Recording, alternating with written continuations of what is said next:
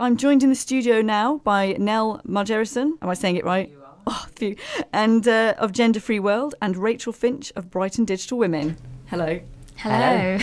Well, I'm glad I got that right. I did ask you how to say your name, and I still am You having, did, it why- always why am I scares having trouble pronouncing it scares people. It always has done. I imagine it always will. It's Let, us go through some quick introductions. So, Nel, tell me about Gender Free World.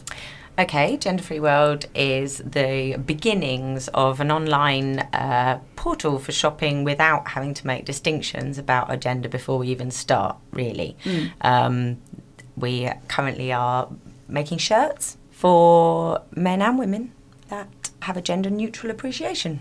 Yeah, and so this is quite a new launch. You've launched quite recently. Very recently, It's been a year in research and development, and we received our shirts in February, so very Mm. new.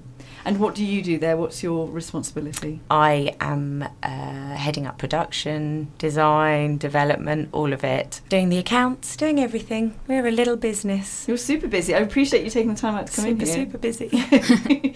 and Rachel, tell me about what you do. I'm actually a digital marketing executive at a company called Iris Connect. I'm the only in house uh, digital marketer there. So that's essentially where Brighton Digital Women came from. I was lonely and Aw. wanted some friends. It started off very small. It was just me and two other people meeting up and talking about our jobs and challenges and sort of collaborating. Really, over the last sort of six months, it's grown to sort of 20, 25 strong people who are signing up, coming along. And really, we have sort of kind of developed our purposes for the, the year where we want to be getting people, not just men or not just women, coming in and giving talks to us and, and, and leading discussions on key industry things. So anything from client management to uh, project management and all of those kind of issues. So I guess our purposes for existing are raising the representation of women in more technical engineering and digital marketing roles and also changing attempting to change the culture for younger girls who want to go into those kind of roles And Nel, what what inspired you to kind of start up Gender Free World and get involved with that? It was based on conversations about uh, my business partner Lisa um, loves wearing shirts, and we started really with that conversation about her experience of buying shirts.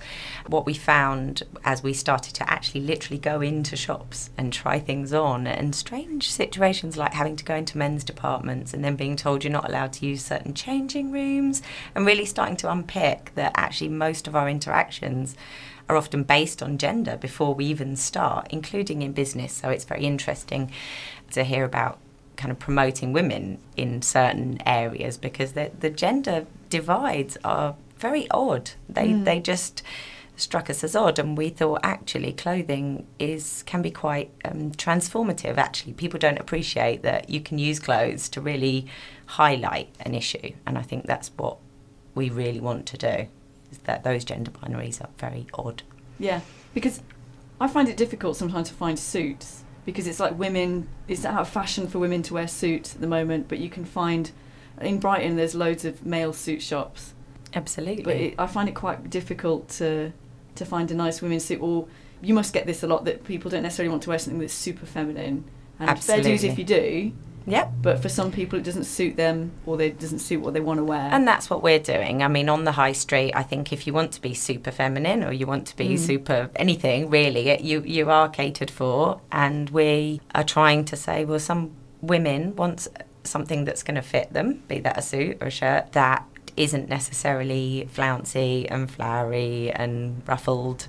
So that's the principle be- behind our first baby, which are the shirts. Mm. So our shirts will also fit some men, male bodies, but they are an androgynous shirt that will fit women's bodies, which I don't think we've found. We haven't found catered to on the high street. and it's quite a, it's quite a popular topic for people to discuss at the moment. The idea of like gender as being like non the non-gender, like the gender free, and Absolutely. the kind of fluid genders and things like that. And I think well, Brighton's a very forward-thinking place. It seems like an ideal place for you to launch a brand like yours. It absolutely is. It's a brilliant place, and we've had you know l- amazing amount of support. And um, Jack Monroe has you know showed sent pictures of uh, wearing wearing their shirt.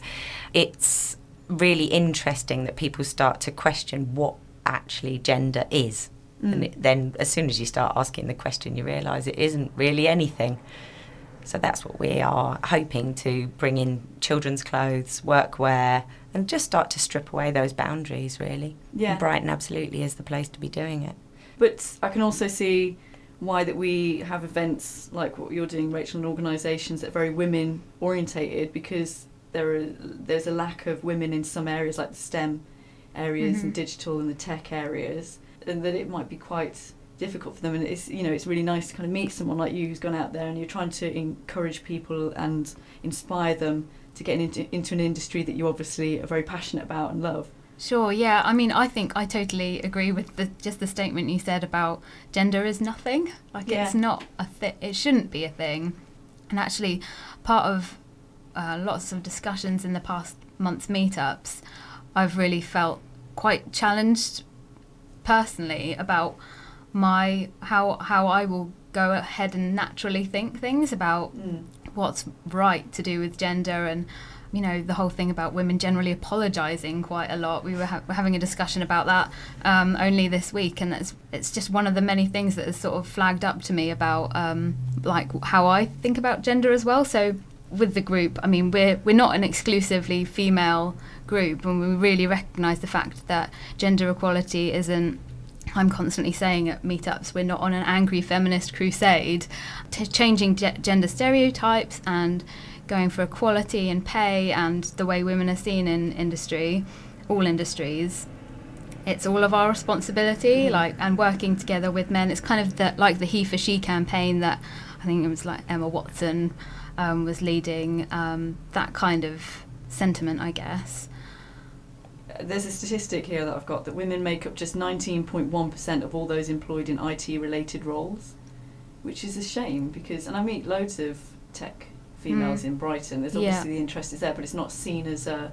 What's what I find interesting is all the the first female, uh, all the first coders were female because they were typists, Yeah, and that yeah. was a female role. And then today it's a male role, Uh-huh. and yet in places like India it's a female role, so you have more female coders there, and i i that's a shame. And you know, likewise, if you're going to attribute gender to to any role, you're going to hold someone back from being able to be part of that. You think? Absolutely, which is why which is why what you're doing is is brilliant because you to bring all of those things closer together. Those gender norms shift constantly over history. Mm. What you know, even down you know, we look at things like pink and blue. You know, they were reversed not so long ago. You know, blue was actually a colour for little girls because it was considered pretty and da da da. Mm. So th- it's really important that I guess everybody, everything that anybody's doing to kind of just bring awareness to the fact that that discrepancy is there is really important. Yeah. It's one of our one of our sort of six main points which we've kind of outlined on our site is working towards gender pay gap changes and I think it's something like 20 27% difference in what a, a woman in a digital marketing role and what a man in a digital equivalent digital marketing role will get paid um, the woman obviously unfortunately less. So we're really hoping to gather some data together on how things currently are within Sussex and then hopefully measure in several years as Mm. to whether that's changed, if we've been able to have like any kind of impact on that. So that's kind of a project that is going on at the moment. You'll yeah. have to come in and, and tell us about when you launch Sure, that yeah. and, and the results. I'll be really interested to follow you yeah. doing that. I think that would be very interesting and very localised. I think um, there's a new law coming in next year about how companies who have t- over 250 employees have to publish what they pay uh, and what the gender pay gap difference is. So hopefully that will tie in with what we try and desperately find out at the moment. But I think that in itself is quite a big step forward, and actually, I think that in, in itself uh, will have a big impact on Mm. that 27% difference. Because effectively, women are working for free from the 9th of November Yes, to the end of the year. absolutely. Yeah. That, that could be money we could be buying shirts with. Exactly. exactly. That's my shirt money. And I, I was quite surprised that the gender pay gap. I've got a, a statistic here that says it's 19.1%, and the EU average is 16.4. So we're kind of a bit. I thought we'd be ahead yeah. of you. I don't know why we I thought that, but there's so many things that tie into that statistic as well. How many women make up that like task force in digital marketing and other industries, but I think just the attitudes to those kind of roles from men, but also from women, and growing up and what they're learning about in school. And it's amazing how gr- like great things like Code Bar and Codecademy Mm. and Girls That Code and all of these groups that have started up for girls to go into coding and these technical things, but get them while they're young because that's when all of those cultural things and are kind of embedded and they can be really unconscious. So I Mm. think that ties in with a lot with why there aren't as many women in those roles and that's something uh, we want to start sort of men- uh, mentor matching Mm. um, with people from the group with sort of secondary school girls and you know that's interesting what you're saying about get, getting them while they're young because like very, from a very young age are wearing clothes that are Absolutely. super gender specific It's one of the things that I'm really excited to to work on is our our children's wear when we get to doing that because I I'm the i'm a mother of three.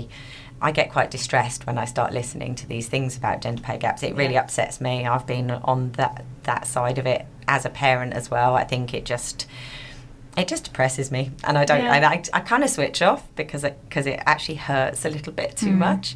Um, so yeah, for me, really important. The idea my children are really proactive in identifying kind of gender issues when they arise and they Mm. raise them to me now my my kids i like you were saying about being unconscious of some of the things that are already coded into us um, my children are very very conscious of all of the silly things they see that Mm. define them and my son writes beautiful little pieces about his gender identity and the fact that he's a boy and what that means and the expectations on him and that he doesn't fit within them my daughter gets quite militant and says you know that's ridiculous i can do that and um, so I, you know hopefully i see uh, maybe in my little bubble of my family a little shift in that where Mm. there's more awareness i don't think i had it when i was growing up I was a girl and I had certain things attached to me, even though my mum didn't promote any of it, just society. And hopefully, we Mhm. can just be a little part in, in Mm. shifting some of that and bringing. just even recognizing it at first and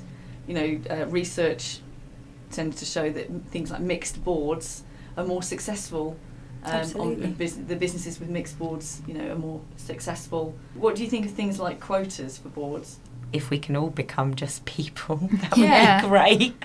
the right person in the right I'd job, the right role. I'd like there not to be a need for quotas. That's Yes, where it would yeah. be great. so Yeah. we're not at a place where we need to be considering that because the balance is there and it's not Mm. even an issue. But obviously, in the meantime, and when you look at people in the business world um, who who is who inspires you Oh, wow. Big question. Who inspires me? I know they're out there. Obviously, I have seen lots of people and I think, yes, wow, amazing. Not that have all of the bits I need. Yeah. So often I look for those people and I find reasons why they're not in the same position as me or they haven't got the same support network. Like they've got different support networks around them. As a single parent, I struggle. It's hard work trying to be everything and I feel Mm. like I fail quite regularly. There isn't a decent support network for women with dependents, I think. To try and do that is really tricky and I haven't found, I do look for people and then I kind of pick apart their situation and I find that it doesn't really apply to me. So I'm trying to create my own at the moment, and Yeah. that's difficult. I think it's great to go and talk to. I'm very lucky that I get to talk to lots of business people and entrepreneurs, and I find a lot of those people that I talk to at networking events are very, just very inspiring. And just hearing people say, "Oh, it's really difficult sometimes," like actually that makes me feel a bit better because I'm like, it is, it is difficult. It really is difficult. Yeah, you feel like a, oh, I am a normal person. Like everyone else finds, you know, the ups and downs of self-employment or running a business that they exist, and you just feel a little bit better that you're not alone. And I think that's really, I don't know if that's also, maybe that's because I'm a woman, um, but there is that element of um, I don't know what I'm doing, I'm not sure. And then the more and more people you speak to, you realise that actually everybody's exactly Yeah. the same.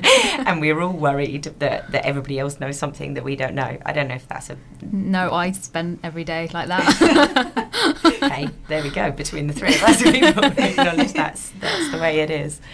I went to a, a talk and someone it was a woman talking about imposter syndrome hmm and her experiences of that, and she's saying she kind of learned to deal with it. That if she gets asked to go and speak at an event, she does deserve to be there.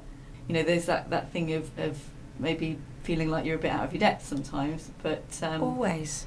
But- always feel out of my depth but the more you the more you plod on through and just force yourself into those uncomfortable situations you realize actually you get some really positive feedback and people are like yeah yeah yeah i suffer from imposter syndrome for sure Mm. yeah. 100% think i'm going to get caught out uh, I don't, don't know what for but i'm going to get caught out for being a being an imposter i'm not really supposed to be here It's so true. I kind of feel like that right now, talking about something I started. I'm literally, you know, me and my co founders, literally the people who know everything about Brighton Digital Women because it came out of us. But I still feel like I'm. Uh, not, you haven't got the I'm not- authority to yeah, talk about exactly. it It's ridiculous, really. But I'm glad Yeah. you're here though. Yeah. Yes, Thank oh, you. yes. Thank you. um, but tell us about when the event is, so people want to go go along and check it out. When- Sure. how often yeah. it? Um, it's monthly, the first Wednesday of every month, and we usually have a couple of drinks and then get started at seven.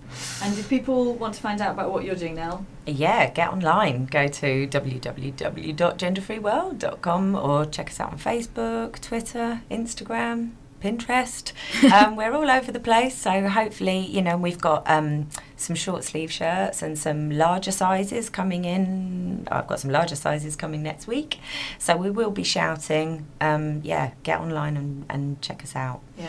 And you know, I do like to keep up with people, so do come on again. I'd love to. You're doing more and more. Exciting. It sounds like you're going to have like some really exciting ranges coming out. I'm very excited and I'd love to come back. Where every new thing that we start doing, I'll come and tell everybody about it.